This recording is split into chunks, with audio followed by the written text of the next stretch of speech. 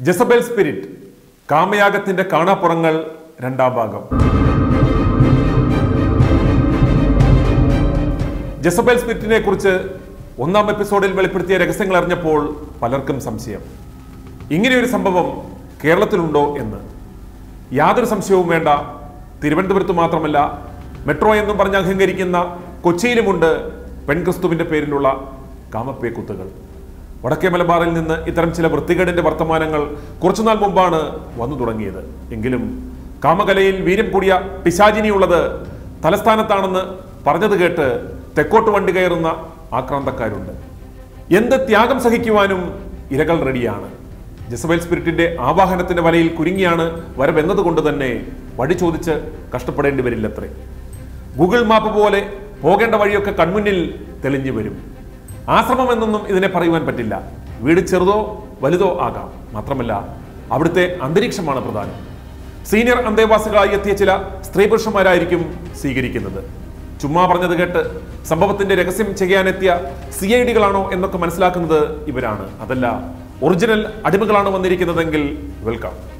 ഇരകളായ പുരുഷന്മാരെ ജിസബേൽ സുന്ദരി ട്രാപ്പിലാക്കുന്നത് സെക്സിലൂടെയാണെങ്കിലും ആദ്യത്തെ ഒന്ന് രണ്ട് ദിവസം ആ വിശപ്പ് സഹിക്കേണ്ടി വരും. അത് പരീക്ഷണ സമയമാണ്. രഹസ്യ കേന്ദ്രത്തിൽ മുറി കിട്ടും. പുറത്തു പോകുവാനോ പുറത്തുനിന്ന് തിന്നുവാനോ കുടിക്കുവാനോ എന്തെങ്കിലും അകത്തേക്ക് കൊണ്ടുവരുവാനോ പറ്റില്ല. ജസ്ബൈൽ സ്പിരിറ്റിന്റെ കേന്ദ്രത്തിൽ ഇരകൾക്ക് നൽകുന്ന ഭക്ഷണത്തിൽ വീര്യം കൂടിയ മയക്കുമരുന്നും തലച്ചോറിന്റെ പ്രവർത്തനത്തെ മന്ദിഭവിപ്പിക്കുന്ന രാസപദാർത്ഥങ്ങളും കലർത്തുന്നുണ്ടെന്ന് വേണം വിചാരിക്കുവാൻ. കാരണം ഇവിടുത്തെ അന്തേവാസികൾക്ക് സ്വന്തം കുടുംബത്തെക്കുറിച്ചോ സുഹൃത്തുക്കളെക്കുറിച്ചോ എന്തിന് സ്വന്തം വ്യക്തിത്വത്തെക്കുറിച്ചോ പിന്നീട് മങ്ങിയ ഓർമ്മകളെ ഉണ്ടാവൂ. ജസബേലിന്റെ ആശ്രമത്തിൽ അന്തേവാസികൾക്ക് പുതിയ ജന്മമാണ്. കൊച്ചിയിൽ നിന്ന് മൂന്ന് ദിവസത്തെ ക്യാഷ്വൽ ലീവ് എടുത്ത് തിരുവനന്തപുരത്ത് ജസബേൽ ആശ്രമത്തിലെത്തിയ ഒരു സീനിയർ ഡോക്ടർ തിരികെ പോയത് ഇരുപത് ദിവസത്തെ യാഗം കഴിഞ്ഞതിന് ശേഷമാണത്രേ.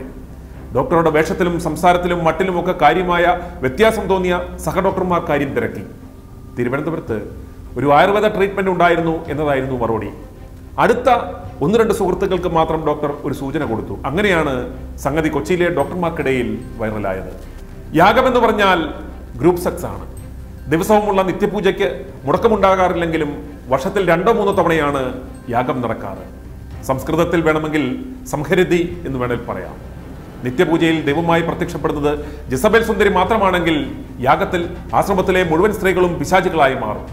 കുറച്ചു നാളത്തെ ആശ്രമ ജീവിതം കൊണ്ട് തന്നെ ഇവരിൽ മിക്കവരും ഇത്തരം ജസബേൽ സ്പിരിറ്റിന്റെ ശക്തി ആർജിച്ചിട്ടുണ്ടാകുമെന്ന് ചുരുക്കം. കെട്ടിടത്തിന്റെ അകത്തുള്ള വിശാലമായ ഹാളിലോ ചുറ്റും മറച്ചു കെട്ടിയ ടെറസിലോ ആയിരിക്കും ഇത്തരം യാഗം അരങ്ങേറുന്നത്. യാഗസ്ഥലത്തേക്ക് ആദ്യം സ്ത്രീകൾക്കാണ് പ്രവേശനം. അവിടെ വെച്ച് വസ്ത്രങ്ങളെല്ലാം അഴിച്ചു കളഞ്ഞ് നൂൽ ബന്ധമില്ലാതെയാകുന്ന സ്ത്രീകൾക്ക് ഇരിക്കുവാൻ പ്രത്യേക പീഠങ്ങളുണ്ട്. ഓരോ പീഠത്തിന് മുന്നിലും അതേ ഉയരത്തിലുള്ള സ്റ്റാൻഡിൽ മെഴുകുതിരി കത്തിച്ചു വെച്ചിരിക്കും. സമയമാകുമ്പോൾ ഒറ്റത്തവണ മണിമുഴങ്ങും അപ്പോൾ ഇരകൾക്ക് ടെറസിലേക്ക് പ്രവേശിക്കാം. പുരുഷന്മാർ പക്ഷേ നഗ്നരായി തന്നെ വേണം യാഗസ്ഥലത്തേക്ക് പ്രവേശിക്കുവാൻ. യാഗത്തിന് വീര്യം കിട്ടുവാൻ അരമണിക്കൂർ മുൻപ് പുരുഷന്മാർക്ക് നൽകുന്ന പാനീയത്തിൽ ചില ഉത്തേജക മരുന്നുകൾ ചേർത്തിരിക്കും. ഏത് പ്രായക്കാരനെയും അടുത്ത രണ്ട് മണിക്കൂർ നേരത്തേക്ക് ഉണർന്നു നിൽക്കുവാൻ ഈ പാനീയം ഒരു ഗ്ലാസ് സേവിച്ചാൽ മതിയാകും. ഇങ്ങനെ ഉത്തേജിതരാകുന്ന പുരുഷന്മാർ അതേ പരുവത്തിലായിരിക്കും അത്രേ യാഗസ്ഥലത്തേക്ക് നിരന്തരയായി പോകുന്നത്. രണ്ട് മൂന്ന് ദിവസത്തെ ചികിത്സയിൽ സ്വന്തം ഐഡന്റിറ്റി തന്നെ മറന്നുപോകുന്ന ഇരകൾക്ക് ഈ കൊലത്തിൽ നടക്കുവാൻ യാതൊരു നാണവും ഉണ്ടാകില്ല. ആക്രാന്തം മൂന്നിരിക്കുന്നത് കൊണ്ട് മുന്നിൽ ജസബൽ സ്പിരിറ്റിന്റെ രൂപം മാത്രമേ കാണൂ. യാഗസ്ഥലത്തെ കാഴ്ച കണ്ട് ഏത് അഞ്ജനേയന്റെയും കൺട്രോൾ പിഴിഞ്ഞു കളയുന്നതായിരിക്കും എന്ന് പ്രത്യേകം പറയണോ? ഫസ്റ്റ് കം ഫസ്റ്റ് എന്നതാണ് ക്രമം. ആദ്യം വരുന്നയാൾക്ക് ആദ്യത്തെ സുന്ദരിയുടെ മുന്നിൽ നിൽക്കാം. ഇരിക്കുവാൻ അനുവാദമില്ല. അതിന് പ്രത്യേകം പീഡവുമില്ല. സെക്സ് എന്ന് പറഞ്ഞാൽ ഇവിടെ പുരുഷന് ചുമ്മാ നിന്നു കൊടുക്കുക എന്ന മിനിമം ഡ്യൂട്ടിയേ ഉണ്ടാവൂ. ബാക്കിയെല്ലാം പിശാചിനിമാർ ചെയ്തു കൊള്ളും അകത്ത് കിടക്കുന്ന ഉത്തേജക മരുന്നിന്റെ ഇഫക്റ്റ് തീരുവാൻ രണ്ട് മണിക്കൂറെങ്കിലും എടുക്കുമെന്നാണ് പറയുന്നത്. അത്രയും നേരത്തെ സംഭവം കഴിഞ്ഞ് തളർന്നു വീഴുന്ന ആംപിറന്നവന്മാർ അവിടെ തന്നെ ചുരുണ്ട് കിടക്കത്തേ ഉള്ളൂ നേരം പുലർന്നാൽ തനിയെ എഴുന്നേറ്റ് പോക്കൊള്ളൂ ഊഹിക്കുവാൻ പറ്റാത്തത്ര ഭീകരമാണ് ജസബേലുകളുടെ കാമശക്തി.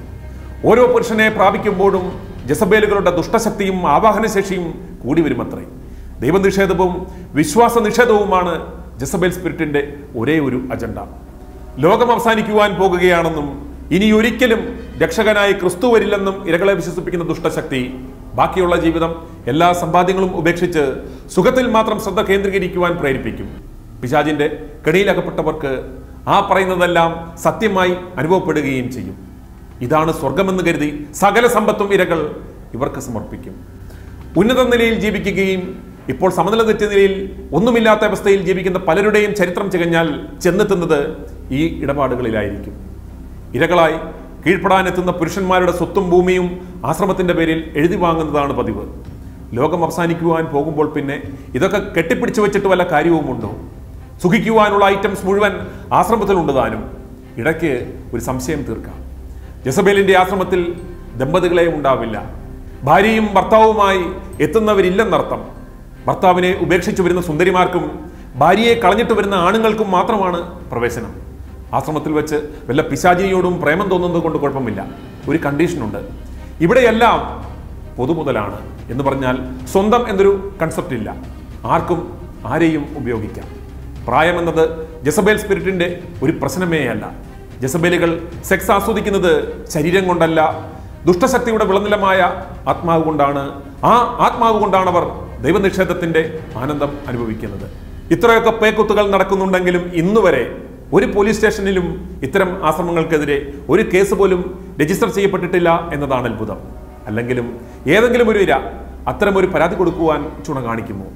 ആശ്രമ ജീവിതം കഴിഞ്ഞ് പുറത്തിറങ്ങുന്ന ഓരോരുത്തരും പൂർണമായും ജസബേൽ സ്പിരിറ്റിന് അടിമയായി കഴിഞ്ഞിരിക്കും. ക്രിസ്തീയ സമൂഹത്തെയും സഭയെയും വെല്ലുവിളിച്ച് നടക്കുന്ന ഈ വൃത്തികേടിന് നേരെ നാവുയർത്തുവാൻ വിശ്വാസികളും പേടിക്കും. അടുത്ത ഇര ഇവരാണെങ്കിലോ?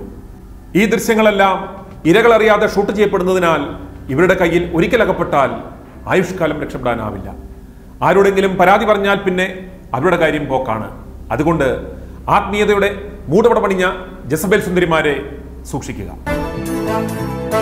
I to I news I to news subscribe ചെയ്തിട്ടില്ലാത്തവർ ഇപ്പോൾ തന്നെ സബ്സ്ക്രൈബ് ചെയ്യുക. നോട്ടിഫിക്കേഷൻ ലഭിക്കുവാൻ ബെൽ ബട്ടണും അമർത്തുക.